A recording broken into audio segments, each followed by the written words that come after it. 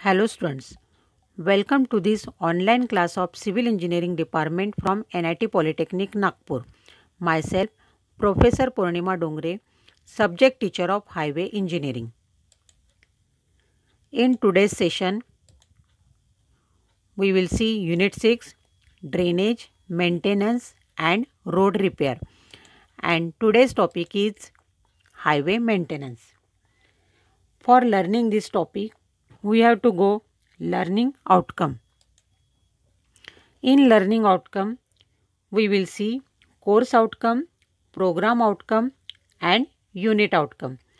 यह टॉपिक पढ़ने के बाद आपको इस टॉपिक से रिलेटेड किस बात का नॉलेज मिलेगा और प्रैक्टिकली यह नॉलेज आप कहाँ अप्लाई करोगे let us see course outcome undertake maintenance of roads and drainage road maintenance और ड्रेनेज का काम आप समझ सकते हो। सेकंड है, प्रोग्राम आउटकम। इसमें आता है P O one P O two P O three P O four P O five P O eight P O nine P O ten. जैसे कि basic knowledge, discipline knowledge, experiment and practice, engineering tools, experiments and society, individual and team work communication and life long learning इन सभी POs का use करके आप यह topic study करोगे। Third है unit outcome students will able to suggest the maintenance and repair works of given type of defective road यह topic पढ़ने के बाद किसी भी टाइप के डिफेक्टिव रोड के मेंटेनेंस और रिपेयर करने के बारे में डिफरेंट मेथड्स आप बता सकते हो। Students in last topic we studied about road drainage types of road drainage and functions of road drainage in today's session we will see detail of highway maintenance new road construct होने के बाद, वह ज़्यादा दिन तक अच्छे से operate होना चाहिए। इसलिए रोड मेंटेनेंस करना ज़रूरी है। यह रोड मेंटेनेंस का काम अलग अलग मेथड से होता है। तो देखते हैं highway maintenance and necessity of it.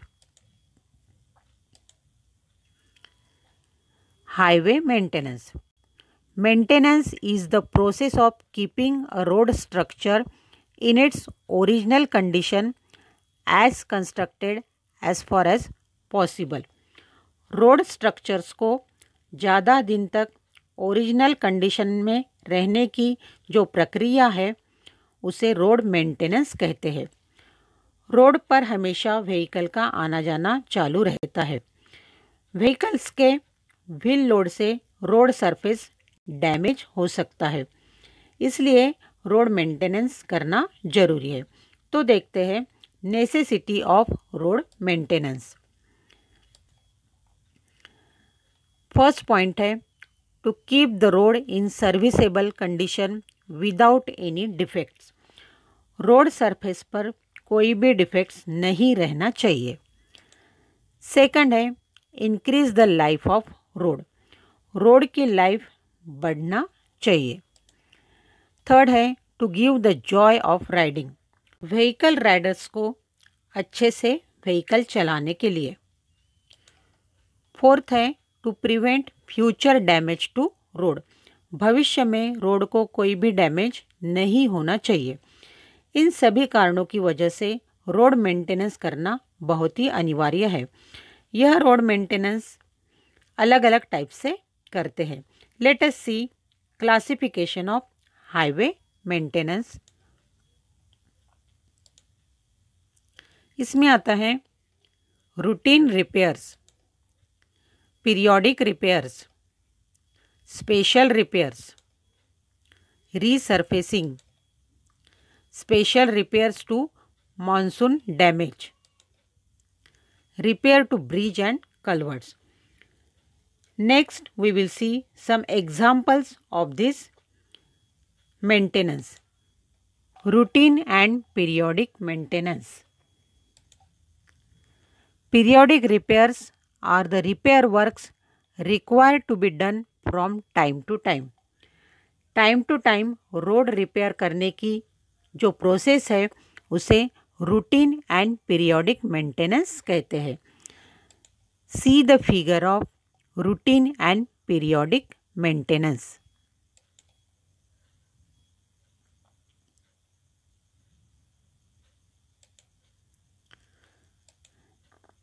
second type of maintenance है special repairs.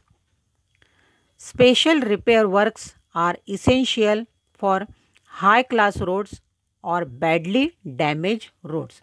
जैसे कि हाई क्लास रोड और बैडली डैमेज रोड को रिपेयर करना। See the figure of special repair of road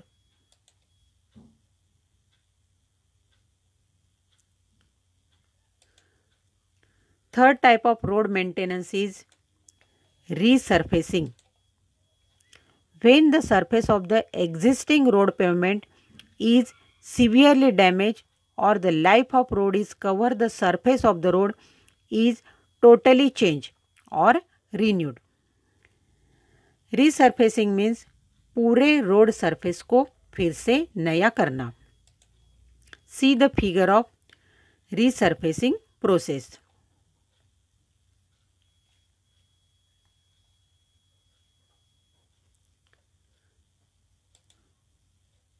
fourth type of road maintenance is repair to bridge and culverts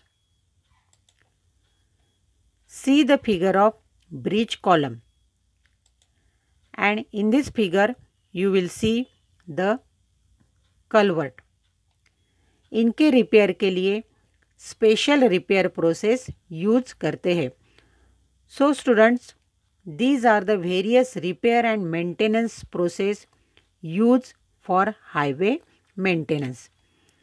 In this way, in today's session, we studied about highway maintenance and in highway maintenance, we studied about routine or periodic maintenance, special repairs and resurfacing. In next session, we will study about failure of flexible and rigid pavement. Important questions on today's topic are Explain necessity of road maintenance. State the classification of highway maintenance. Explain the term resurfacing in highway maintenance. You have to solve these questions as assignment if you will face any difficulty, then watch the video again, refer the notes provided to you or contact me. Thank you for watching the video.